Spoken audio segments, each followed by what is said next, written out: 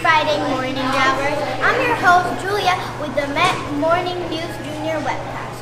This is this is episode 274, and today is Friday, September 15 of 2017. I'm Enzo, and here's what's happening at the Met. Map testing is almost done. You can do it, Jaguars. Keep washing those hands, so we will all stay healthy. I'm Pella, and today for lunch there's a 99% chance for that we will be having. Wait for it. Pizza!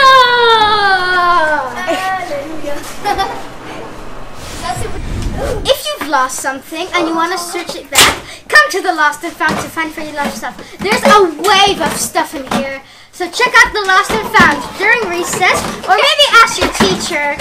Happy searching! I'm Mason, and we have no driver to celebrate a birthday today. A big happy birthday to the fish in the ocean we just haven't met yet.